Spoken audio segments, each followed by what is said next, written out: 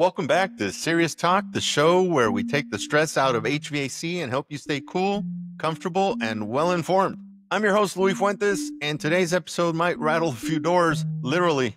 We're talking about a surprisingly common habit that could be messing with your comfort, cranking up your energy bills, and even messing with your health.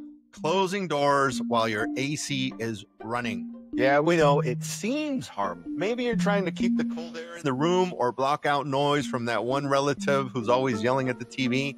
But trust me, this one little habit can cause a whole lot of trouble. Let's break it down into these five parts. First part is restricted airflow. It's a trap. Your air conditioner is a system, not a magic box that just pumps out cold air. It relies on consistent, balanced airflow throughout the house. When you start shutting doors, especially bedroom or office doors, you've blocked that airflow.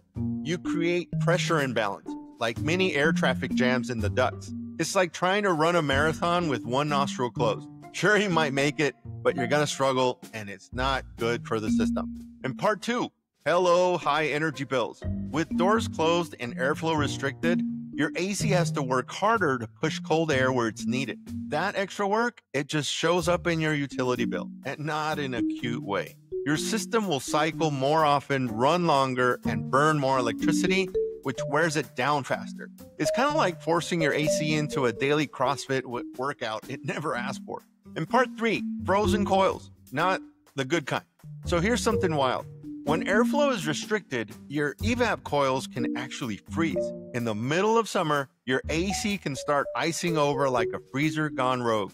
Without enough warm air passing over those coils, the condensation on them freezes, turning your system into a block of ice. Cooling performance drops, and you might even get water damage from the melting ice. Moral of the story your AC is not meant to moonlight as an ice sculpture. And part four indoor air quality takes a hit. Let's talk health. When you close off rooms, you're not just trapping air, you're trapping dust, pet dander, allergens, and VOCs from paints, cleaners, and furniture. With less ventilation, those pollutants build up fast. If someone in your home has asthma or allergies, this is a recipe for sneezing, wheezing, and general misery. It's like turning that peaceful bedroom into a sealed off bubble of stale air. Not ideal. In part five, uneven temps and mold problem. Closed doors also create temperature imbalances. Some rooms might feel like a meat locker while others are still warm. The thermostat doesn't know what's going on and it only senses one area. That imbalance leads to moisture buildup, and where there's moisture, you guessed it, mold and mildew. Now we've got health concerns and that musty smell that no one, no candle can cover. So What's the fix? The solution is simple. Keep interior doors open when your AC is running. Let that air circulate. Let your system breathe.